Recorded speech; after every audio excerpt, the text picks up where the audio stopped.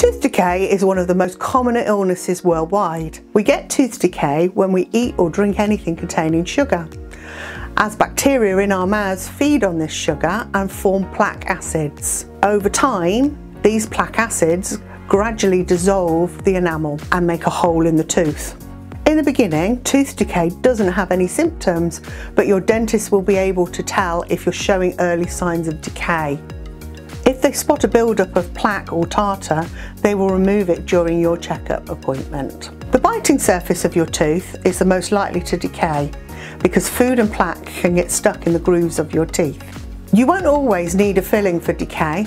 The dentist might put a fluoride coating on instead to help strengthen the enamel. But to prevent decay getting worse, you should visit the dentist as often as they recommend, as they can assess the health of your teeth and do any necessary treatments. You can avoid decay by limiting sugary foods and drinks to meal times only, or even better, cutting them out completely. Learn more about decay by visiting our website or try calling our helpline for free impartial advice.